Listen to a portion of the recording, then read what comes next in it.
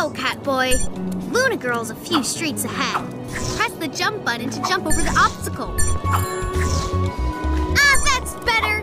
I can feel my powers getting stronger already. This is a tall wall.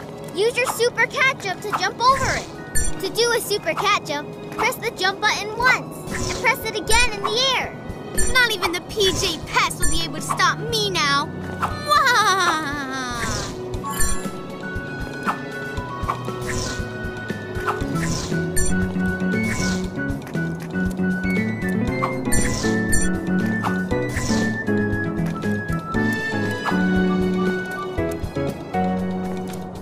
Oh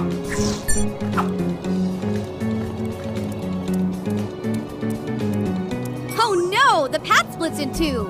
How will I know which way to go?